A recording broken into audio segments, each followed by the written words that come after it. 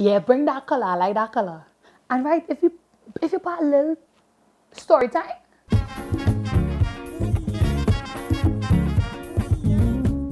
Where I live and have two young boys renting next door, right? So the other night, I hear them like they quarreling. Next thing you know, the quarreling get louder. Next thing you know, there's a big cuss out happening there, man. It's gonna be about 12 o'clock at night. So I tell myself, nah, but the two of them probably come home tight, you know what I mean? Next thing you know, it's cause they out in the yard fighting. Serious fight going on. I go downstairs playing peacemaker, you know. I say, gosh, fellas, take it easy now, take it easy. Like, what are you getting on so far? Eh, eh. Is to turn and tell me I shouldn't risk putting my nose in people's. But before I could do to answer him, the next one, I can't even see me stand up there. He continued, eh?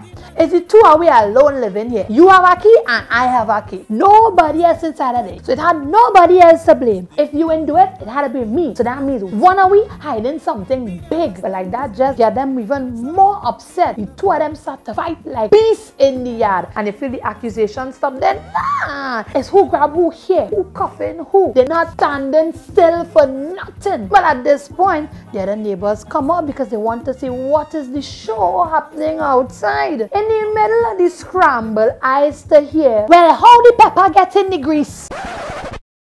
Look how long we're using this thing. It never happened before. All of a sudden, it's a pepper in the Vaseline. Well, the two of them running around in the yard like they're mad. One balling hard, hard. Oh God, my mouth burning me.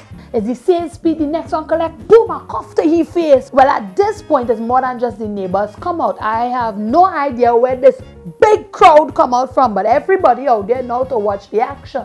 And the same one who tell me mind my business, homeboy on his knees. Oh gosh, somebody helping I fail, we start a ball. So my neighbor Miss Melda turn and say, neighbor, you have sugar there? I go inside to get some for she. I come back outside and I get shit. She take it, she throw it in a bucket of water, she mix it up, tick, tick, tick. Well, it's the fastest I ever see a man run and sit down in a bucket of water.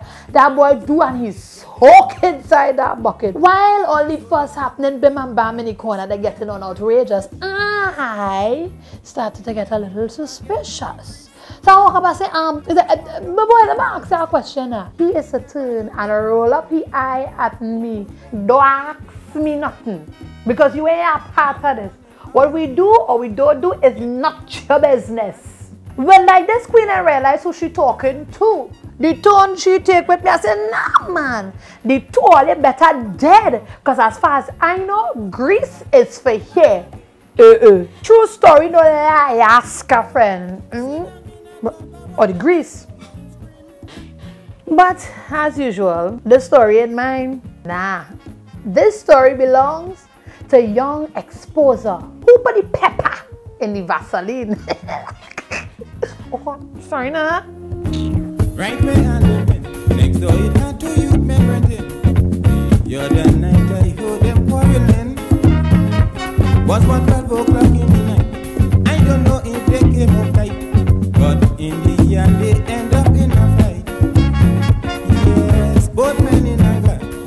and came